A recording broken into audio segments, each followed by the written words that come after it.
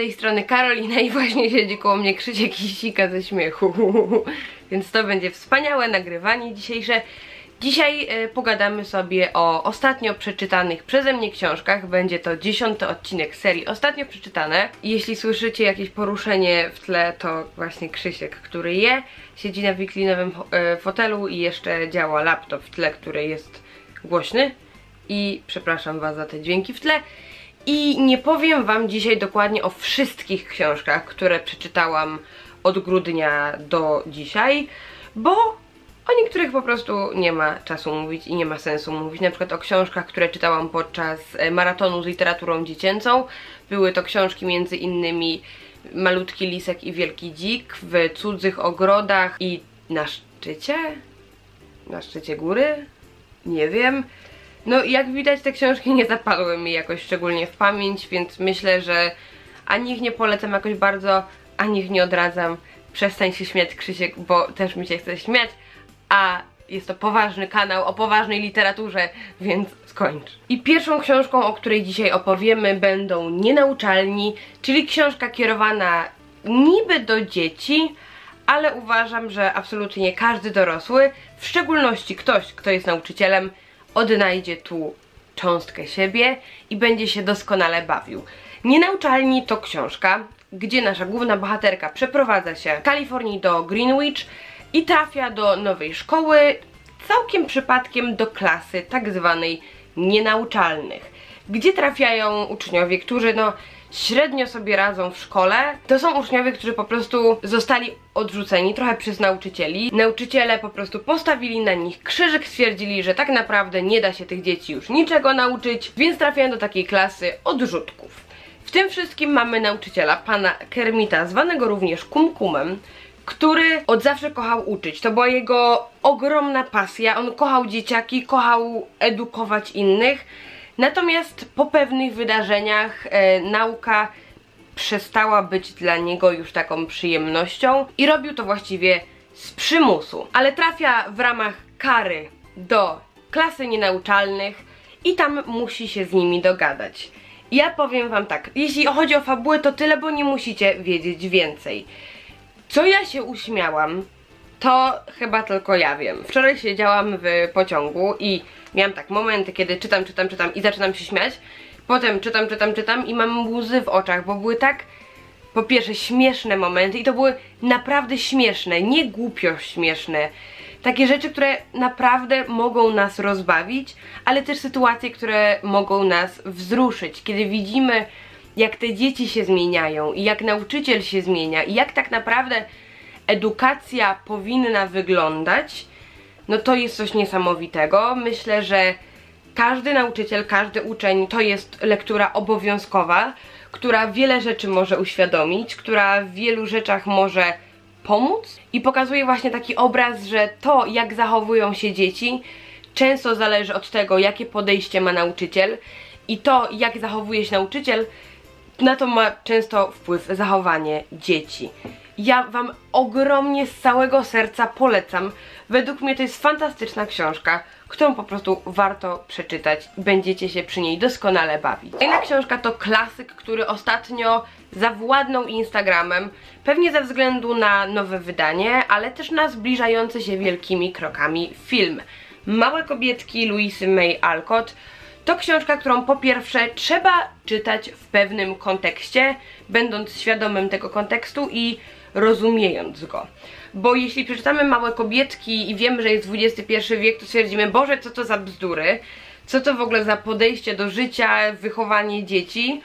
Ale w czasach, kiedy pisała Louisa May Alcott, tak to właśnie wyglądało. Takie obowiązywały pewne reguły i zasady życia w społeczeństwie, więc to na pewno trzeba mieć na uwadze. Tutaj mamy historię czterech sióstr. Joe, Amy, Beth i... Jak ty miałaś na imię? I Meg, czyli najstarsza siostra, które przeżywają różne przygody, które mniej lub bardziej angażują czytelnika. Ich ojciec jest na wojnie, wychowują się z samą matką i śledzimy ich losy. To jest książka, co do której ja mam, nie mam tak ciepłych uczuć jak wszyscy.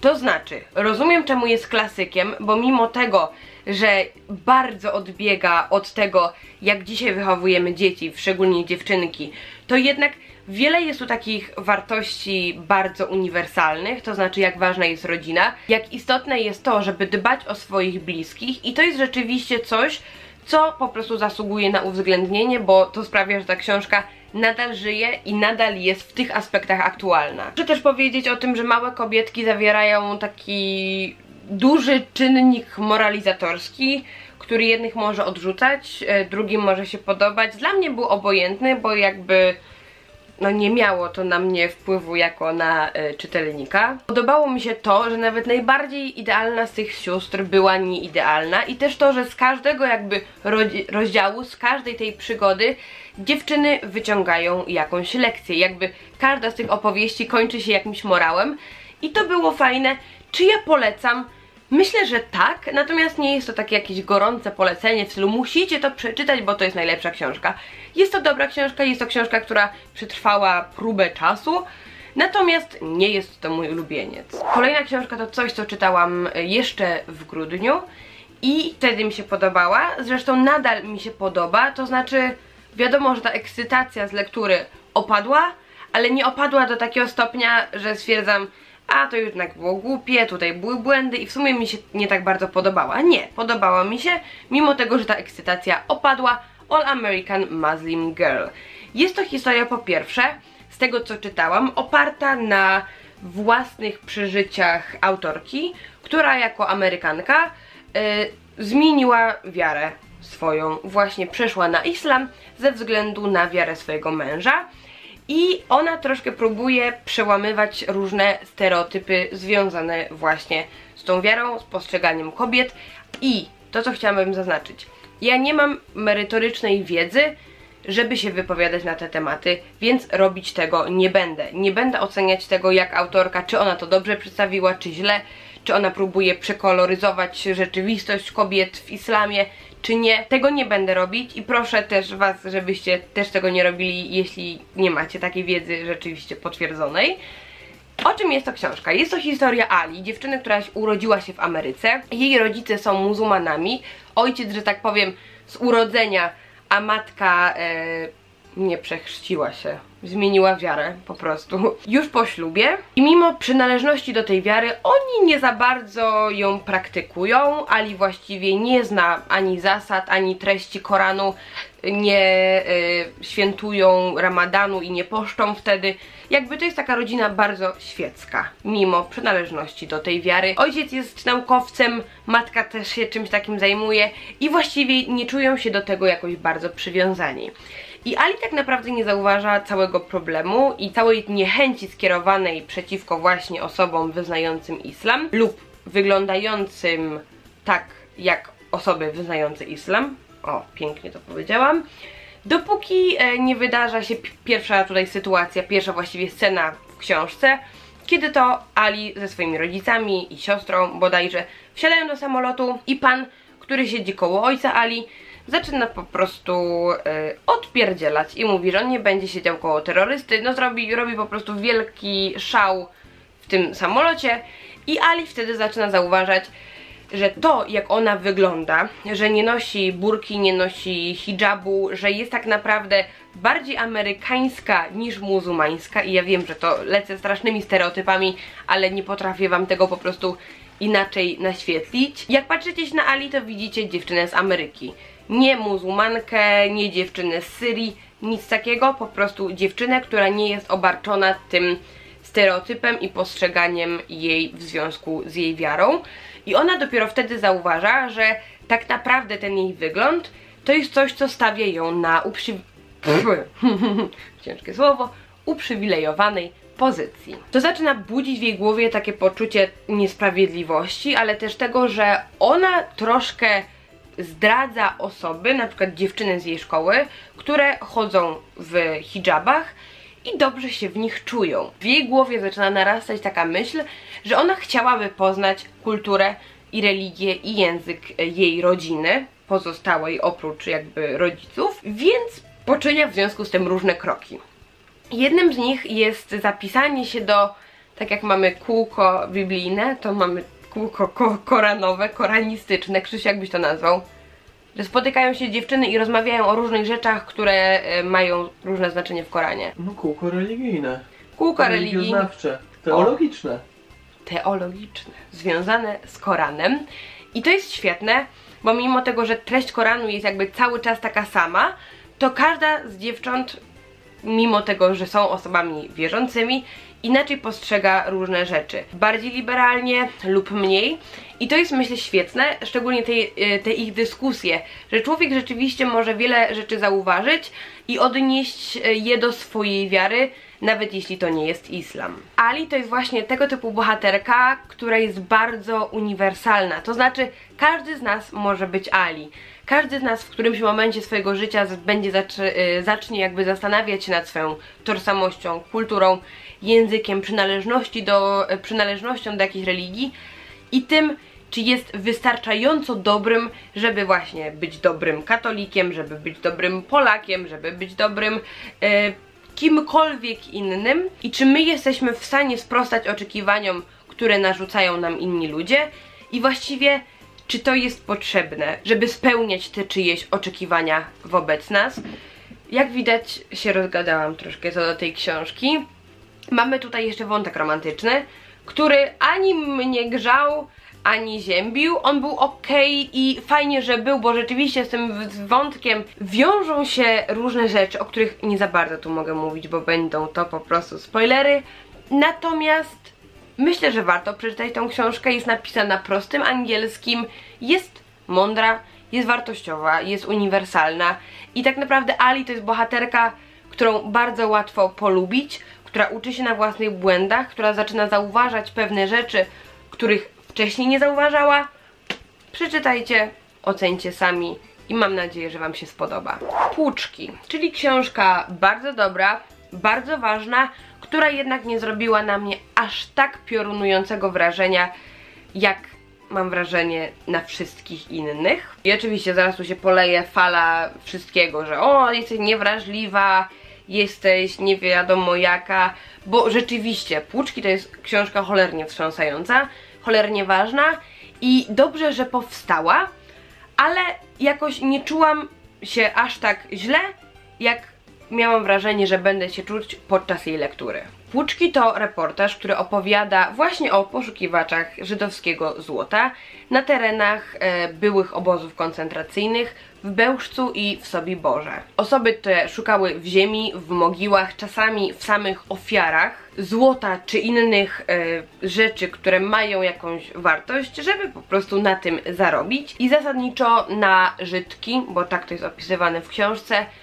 chodziły całe wsie i był to dosyć popularny proceder. I w tej książce nie sam proceder był najgorszy i opisy, ale podejście kopaczy i ich rodzin. Dla nich to było moralnie obojętne, czy przeszukują e, miejsca, gdzie po prostu wiele osób ginęło, czy przeszukują ciała tych osób, które są już trupami, czy przeszukują ich e, zbiorowe mogiły.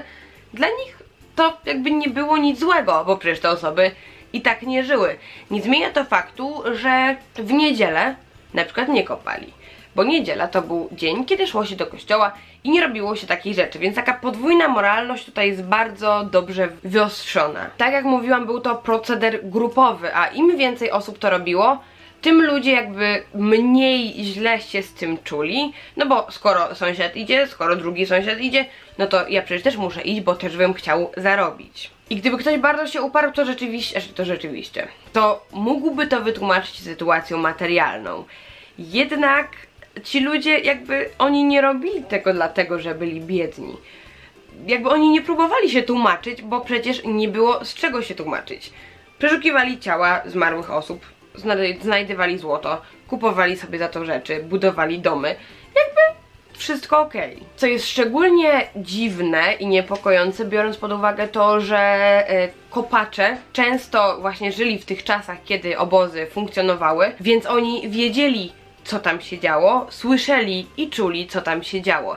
Ja znalazłam, zacytuję wam tutaj z kartki, bardzo dobry cytat właśnie e, od jednego z użytkowników Goodreads co do płuczków, e, który napisał Ja wiem, że to trochę nie o tym, ale przy Nie oświadczam się Łuki jest to najlepsza książka o polskiej wsi, jaką czytałam. I rzeczywiście tu można znaleźć wiele elementów wspólnych, tą taką zbiorową znieczulicę, bagatelizowanie problemu, zrzucanie go na innych i jakby zupełnie nie branie, że sąsiad może on źle robi, ale ja w ogóle. I myślę, że Płuczki warto przeczytać nie po to, żeby oskarżać, nie po to, żeby usprawiedliwiać, tylko po to, żeby być świadomym. Winterwood, czyli kolejna przeczytana przeze mnie książka, to jest coś takiego bardzo dziwnego. Bo książki tej autorki pani Earnshaw jakby zajmują szczególne miejsce w, moje w moim sercu, bo to nie są moi ulubieńcy. To nie są książki, których ja, nie wiem, nienawidzę. Ale to są książki, których ja widzę masę niedociągnięć i rzeczy, które mogłyby być zrobione lepiej, ale bawię się przy nich tak doskonale, że ja po prostu nie umiem ich znienawidzić, mimo tych wielu błędów.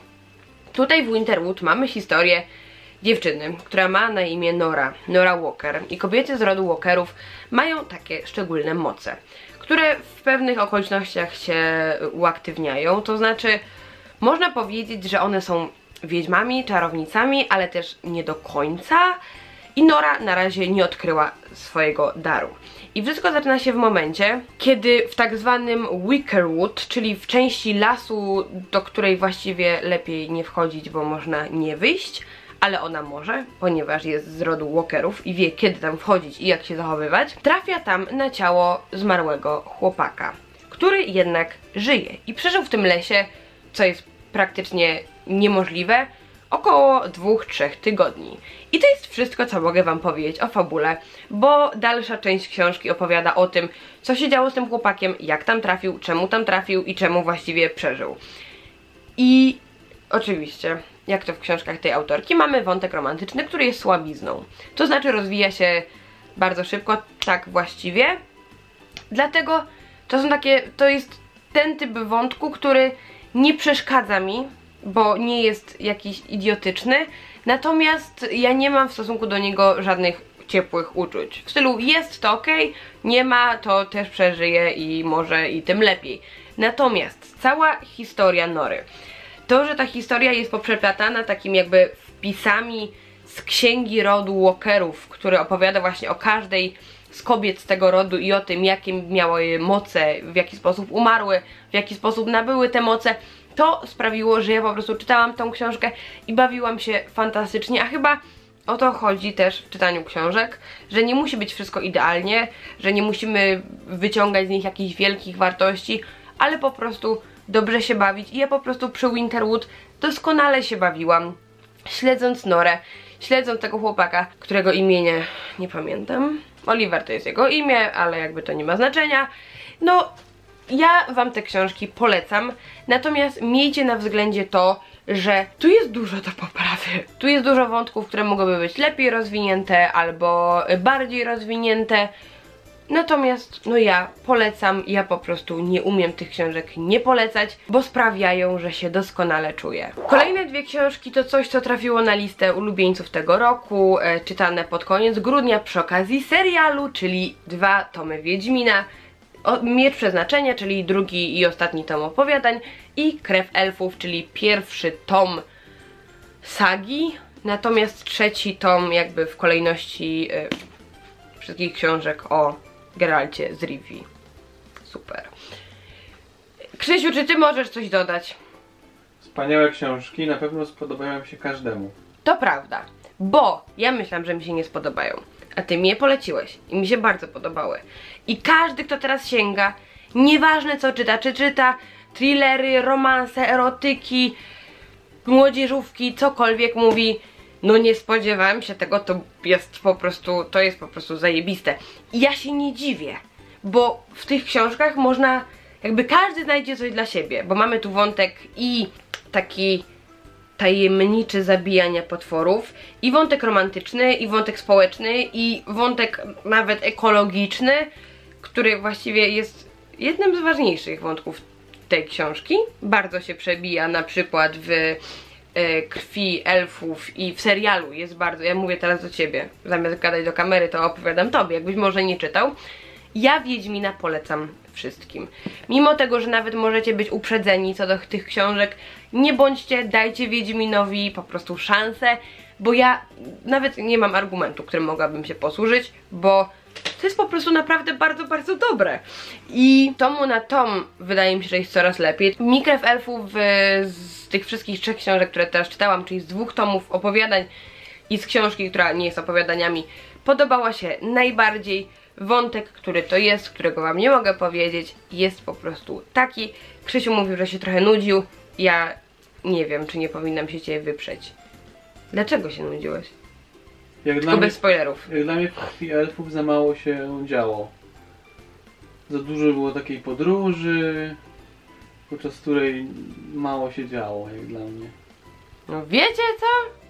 No to mi się bardzo podobało i z ogromną chęcią sięgnę, mam nadzieję, że w najbliższym czasie po kolejne tomy. Uwolniona to książka chwalona przez wszystkich, która wstrząsnęła wieloma osobami i właściwie się nie dziwię. Jeśli nie wiecie nic o mormonach, to możecie po prostu czytać tą książkę z otwartymi ustami cały czas.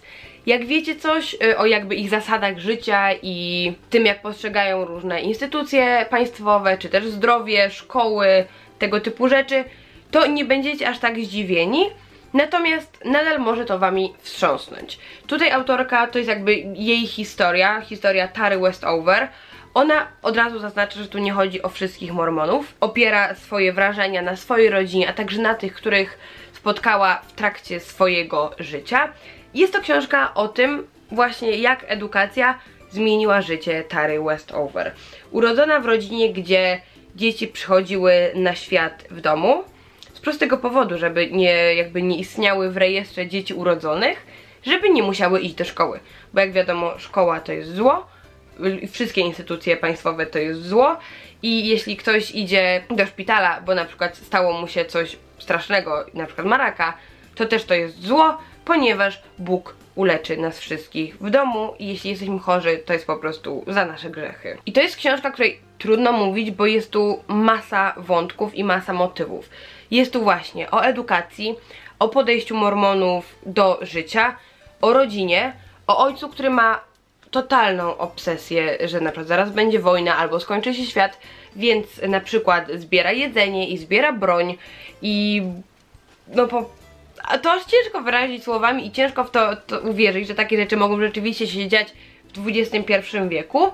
Yy, ojciec tutaj jest bardzo ważną postacią, którą cholernie jest ciężko ocenić. Tak jak na przykład ojca z wielkiej samotności, on też ma taką manię prześladowczą, że ktoś przyjdzie, że ktoś zrobi im krzywdę. To jest naprawdę coś, o czym ciężko opowiadać i ciężko streścić, bo tutaj dzieje się bardzo dużo i to jest książka pchana nie tyle co nawet samymi wydarzeniami, ale tym jak autorka i główna bohaterka jednocześnie na te wydarzenia reaguje i jak one ją kształtują. I Tara Westover tutaj jest taką osobą, którą z jednej strony mamy ochotę przytulić i powiedzieć jej, że wszystko będzie dobrze, ale z drugiej mamy ochotę ją po prostu wziąć za szmaty z tego domu i mówi, powiedzieć, dobra idź już na te studia, bo ja nie mogę czytać jak ty żyjesz z tymi ludźmi, którzy po prostu mają bardzo nietypowe spojrzenie na świat i na życie i na rzeczy, które po prostu ich otaczają i im dłużej ją czytamy, tym większa frustracja w nas jakby rośnie.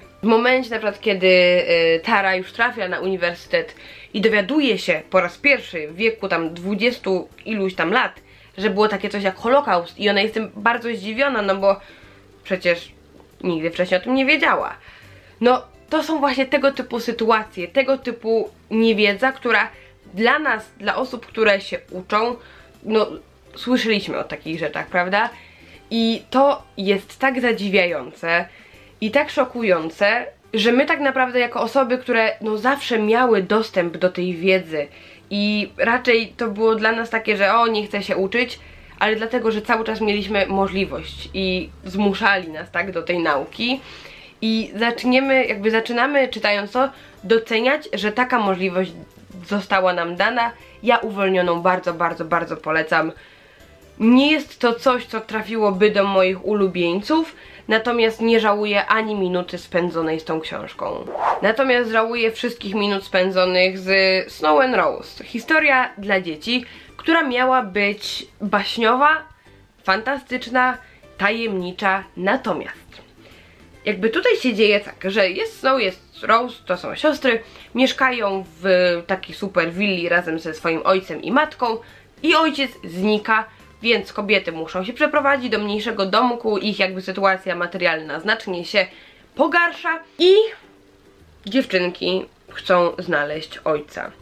Mieszkają w takim w domu otoczonym lasem, tylko że tu jest tyle motywów, które można by było rozwinąć i ta książka byłoby 100 stron e, dłuższa i o wiele bardziej ciekawa, to jest tak zmarnowany potencjał. Tutaj jest na przykład motyw e, biblioteki, tylko w której nie wypożycza się książek, tylko rzeczy, które mają różny tam wpływ na nasze życie. Jest masa ciekawych wątków, które mogłyby być poprowadzone, które mogłyby być jakoś bardziej rozwinięte i tak wyczerpane, a tu się nie dzieje nic. Ta książka jest nudna, ta książka jest o niczym.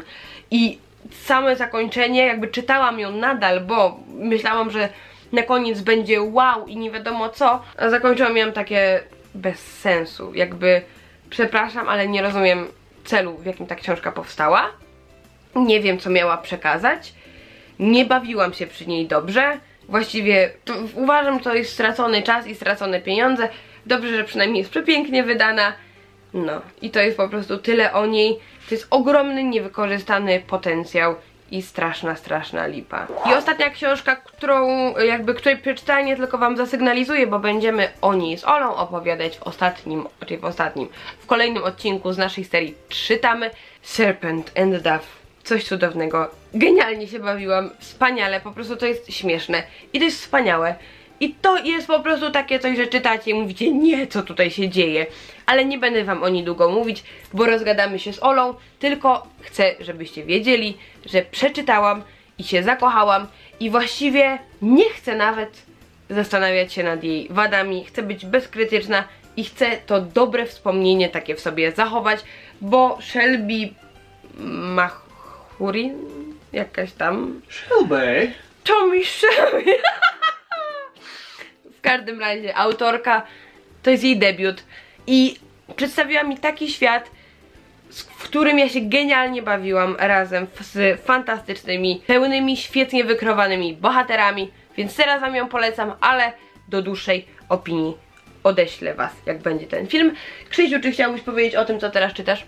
Nie, to był żart. Aha, Powiem jak przeczytam.